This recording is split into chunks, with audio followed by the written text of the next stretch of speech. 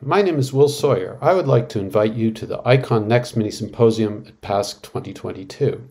ICON, or the icosahedral non-hydrostatic model, has been very successful in climate and numerical weather prediction simulations over the recent years. Does that mean ICON development has ceased? Absolutely not. This mini symposium will address the various ways that ICON is being revitalized and um, improved for the next generation of computing architectures.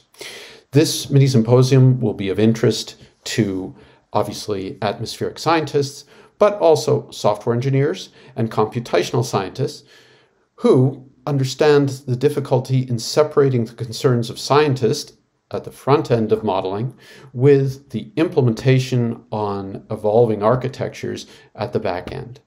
Thank you very much, and we're looking forward to seeing you there.